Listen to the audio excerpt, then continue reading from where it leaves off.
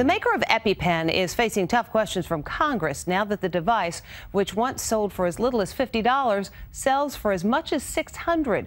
And in light of the controversy, Sarah Jessica Parker, who's a paid spokesperson for the company, says she is ending her relationship with the firm. Victoria Recaño reports.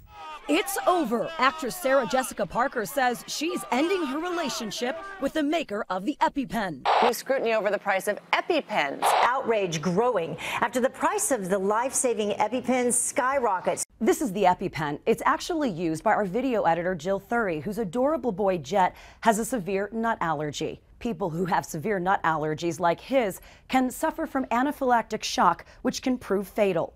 Inside the EpiPen is a needle that administers the antidote. The EpiPen is a life-saving emergency treatment. This year, Sarah Jessica Parker um, has been all over TV talking about the medication. She, she made the perfect spokeswoman and spoke from the heart.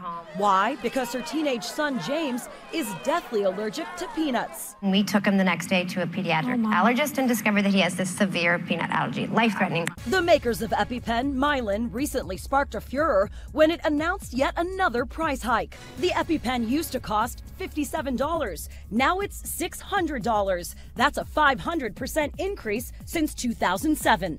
Sarah Jessica just released this statement.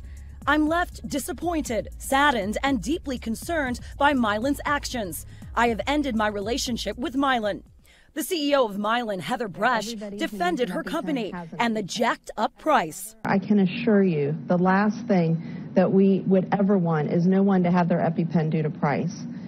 More than 15 million people suffer allergies severe enough to potentially need an emergency dose of epinephrine. The manufacturer says it will now cover up to $300 of the cost for people with little or no insurance.